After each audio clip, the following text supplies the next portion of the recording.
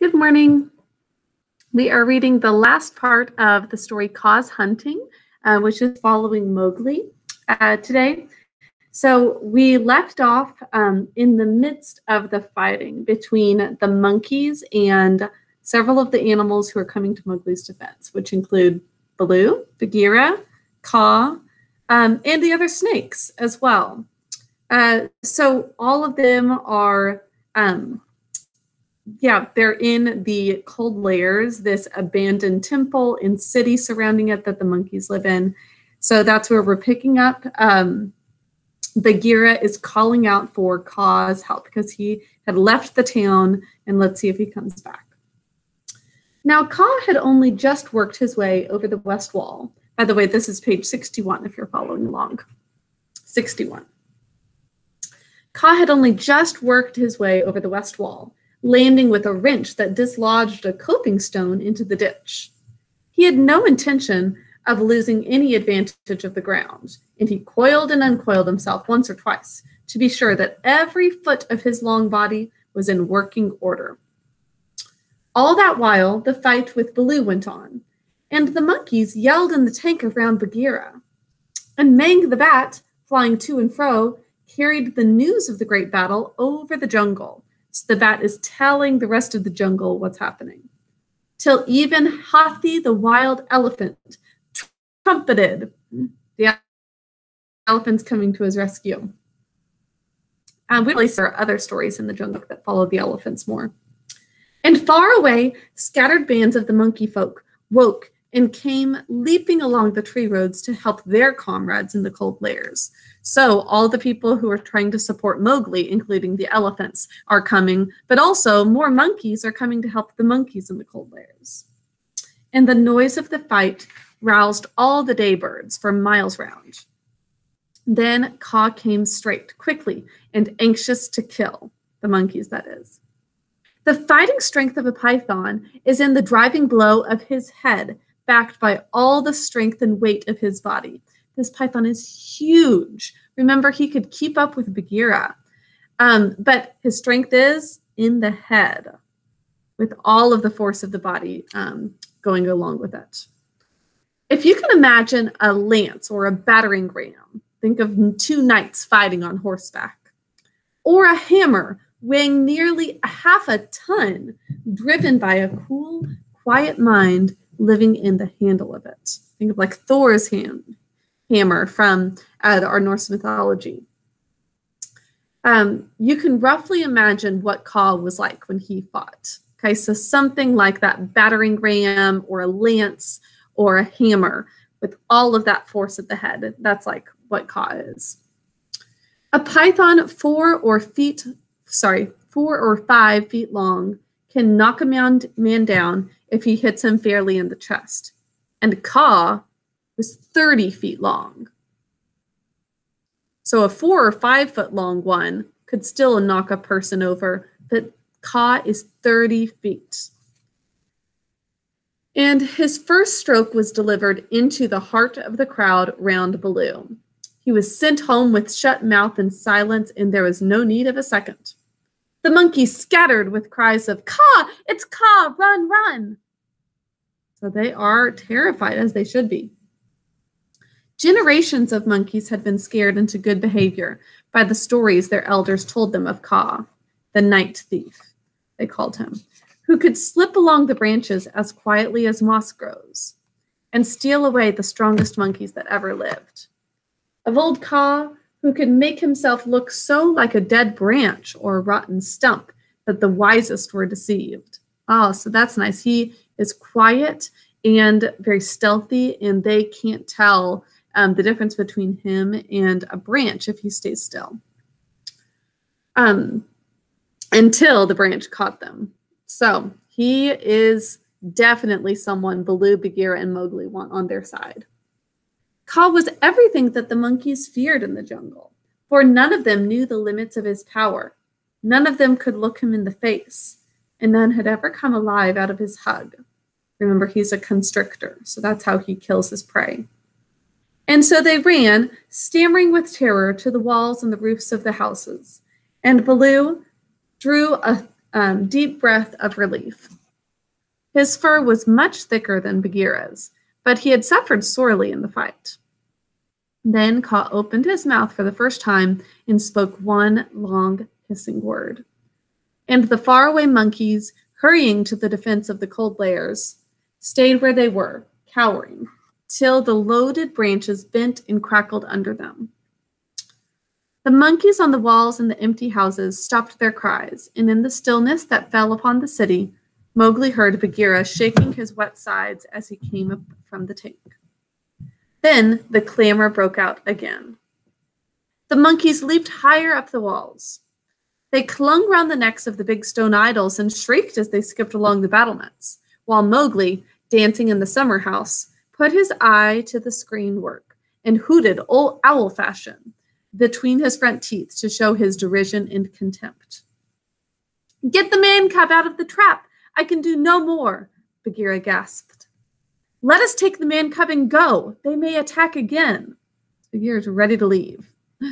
They will not move till I order them. Stay you so, Kaa hissed, and the city was silent once more. Doesn't matter how many monkeys there are, they are all terrified of Kaa. I could not come before, brother, but I think I heard thee call. This is to Bagheera, he said this. I I may have cried out in the battle, Bagheera answered. He's a little hesitant to say that because Bagheera is a python, a really powerful animal. So he kind of doesn't like the idea that he relied on Kaa, but they all need each other. They need support. Baloo, art thou hurt? Bagheera asked. I am not sure that they have not pulled me into a hundred little bearlings, said Baloo gravely, shaking one leg after the other. He's saying, I'm in a million little pieces. Wow, I am sore. Kaa, we owe thee, I think, our lives, Bagheera and I. Kaa said, No matter. Where is the manling? Here, in a trap. I cannot climb out, cried Mowgli. I'm at the top of page 64, by the way. The curve of the broken dome was above his head. Take him away. He dances like Mao the peacock. He will crush our young, said the cobras inside. So they're worried that Mowgli is going to step on the baby snakes and kill them. Ha, said Kaa with a chuckle. He has friends everywhere, this manling.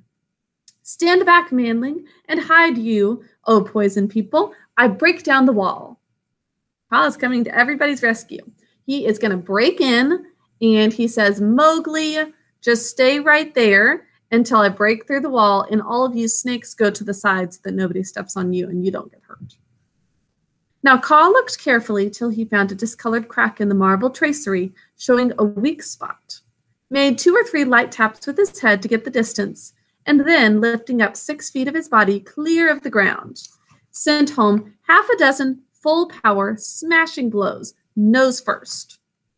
The screenwork broke and fell away in a cloud of dust and rubbish, and Mowgli leaped through the opening and flung himself between Baloo and Bagheera, an arm round each big neck.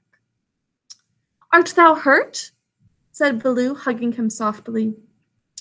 I am sore, hungry, and not a little bruised, but oh, they have handled ye grievously, my brothers. Ye bleed. So Mowgli's hurt, but he's concerned about them, Baloo and Bagheera. Others also, said Bagheera, licking his lips and looking at the monkey dead on the terrace and round the tank. It is nothing, it is nothing, if thou art safe. Oh, my pride of all little frogs, whimpered Baloo. Of that we shall judge later, said Bagheera in a dry voice that Mowgli did not at all like. But here is Kaa, to whom we owe the battle, and thou owest thy life. Thank him according to our customs, Mowgli, he says. Top of page 66, by the way. Now Mowgli turned and saw the great python's head swaying a foot above his own. So this is the manling, said Kaa. Very soft is his skin, and he is not so unlike the Banderlog. Have a care, manling, that I do not mistake thee for a monkey some twilight when I have newly changed my coat. But we be of one blood, you and I, Mowgli answered. I take my life from thee tonight. My kill shall be thy kill if ever thou art hungry, O Kaa. So Mowgli is doing the right thing here. He's saying, We are a team, you and I. We're on the same side. And I owe you my life, and so if I hunt anything tonight, it is yours. All thanks, little brother, said Kaa, though his eyes twinkled. And what may so bold a hunter kill? I ask that I may follow when next he goes abroad.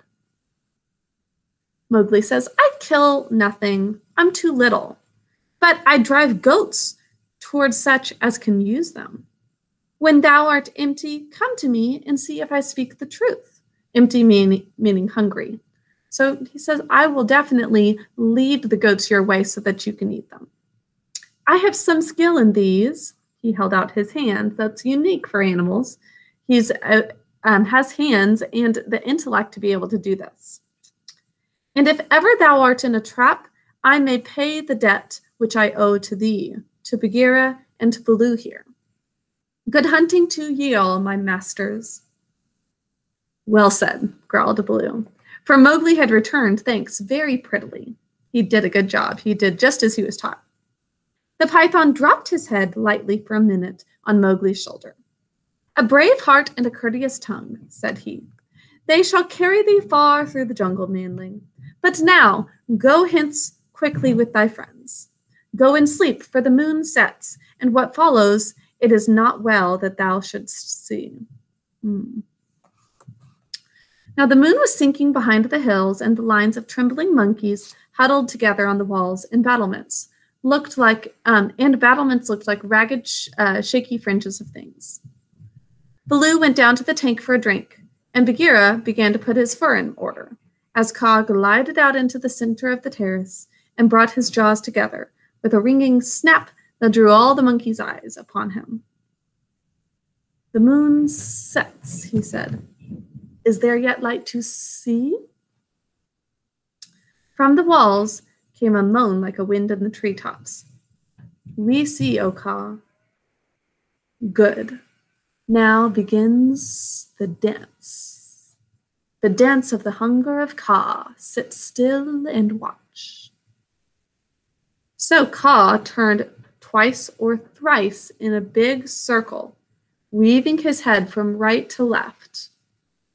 Then he began making loops and figures of eight with his body, and soft oozy triangles that melted into squares and five sided figures. And he coiled mounds, never resting, never hurrying, and never stopping his low humming song. So he's doing the little dance, although he's, remember, a 30 foot long python. So um, this is called the dance of the hunger of Kaa. This is what he does before he strikes, before he hunts. It grew darker and darker till at last the dragging, shifting coils disappeared, but they could hear the rustle of the scales. Baloo and Bagheera stood as still as stone, growling in their throats, their neck hair bristling, and Mowgli watched and wondered. Banderlogs, said the voice of Kaa at last. Can ye stir foot or hand without my order? Speak! Without thy order, we cannot stir foot or hand, O Kaa, the Banderlog replied. So they are at his mercy. They're going to do whatever he says. Good, Kaa says. Come all one pace closer to me. Sounds like Mother May I. the lines of the monkeys swayed forward helpless, helplessly, and Baloo and Bagheera took one stiff step forward with them. So even Baloo and Bagheera, they're mesmerized by this dance. They're entranced by it. And so they kind of have to move forward. If you've seen the movie, um, I think actually, Nethra, you were talking about this if you're watching.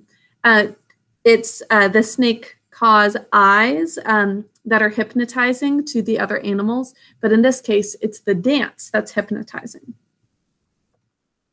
Closer, hissed Kaa, and they all moved again. Now Mowgli laid his hands on Baloo and Bagheera to get them away, and the two great be beasts started as though they had been waked from a dream.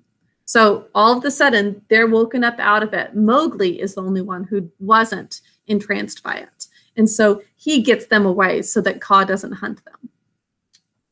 Keep thy hand on my shoulder, Bagheera whispered. Keep it there, or I must go back, must go back to Kaa. Ah! It is only old Kaa making circles on the dust, said Mowgli. Let us go. And the three slipped off through a gap in the walls of the jungle. To the jungle, sorry. Woof, said Baloo when he stood under the still trees again. Never more will I make an ally of Kaa. And he shook himself all over. So he's thinking, I almost got killed by him because I was so hypnotized by what he was doing. I was going closer. But Baloo says, um, or sorry, Bagheera says, he knows more than we, said Bagheera, trembling. In a little time, had I stayed, I should have walked down his throat.